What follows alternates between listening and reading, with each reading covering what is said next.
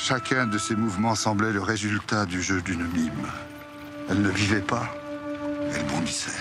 C'est du très beau théâtre, Alexandre. Vous vous lancez? Vous l'aurez dans deux heures. Enfin, faites le brouillon, je m'occuperai du reste.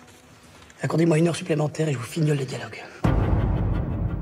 Quand on y réfléchit, ça ne doit pas être facile de travailler avec ce Dumas. hein. Si j'étais sculpteur, je commencerais par son cul. Quel drôle de couple vous faites. hein. Monsieur Dumas, je vous voyais pas comme ça. Et comment est-ce que vous m'imaginez Plutôt comme ce monsieur là.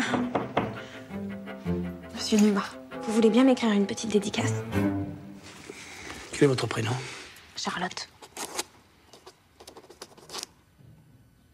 Mon père m'a souvent parlé de vous.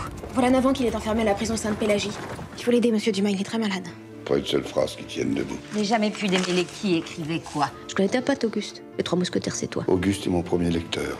Un lecteur ou un miroir? Lorsque nous étions à Trouville, je me suis fait passer pour vous. J'ai pas pu résister à la tentation. Il faut que je vous remercie. Grâce à vous, j'ai passé une nuit délicieuse. Vous n'avez pas fait ça. Charlotte, vous êtes un cadeau tombé du ciel. Vous n'aviez donc pas vu que je l'aimais. Le père de Charlotte ne doit pas moisir une minute de plus en prison. C'est pourquoi j'ai fait le nécessaire. Ce n'est pas vous qui le réclame, c'est Alexandre Dumas. Salaud. Vous ne savez pas ce que c'est que d'être en guerre contre moi. Ils n'ont même pas voulu de vous à l'Académie française. Pour eux, vous êtes un divertissement national, un bouffon. Je dirais aux journalistes que je suis à la source de toutes nos œuvres. Il faut parfois bien des mensonges pour découvrir la vérité. Vous vous surpassez. Le véritable Dumas, c'est moi.